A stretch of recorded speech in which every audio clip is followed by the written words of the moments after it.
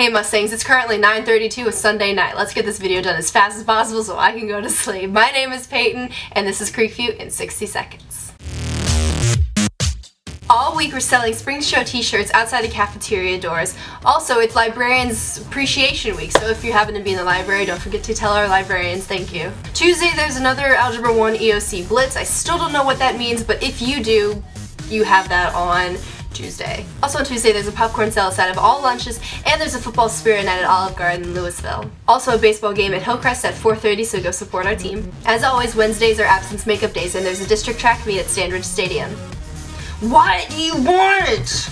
That's also when we do map scheduling, so if you have any trouble with your schedules, talk to your teachers about that. Friday is National Day of Silence, where we bring attention to anti-bullying, non-violence, which I totally support, but I will not be taking part in All Day of Silence because I cannot go five seconds without talking.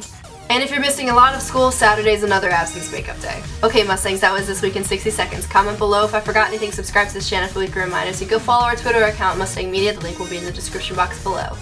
Have a great week. So out of breath.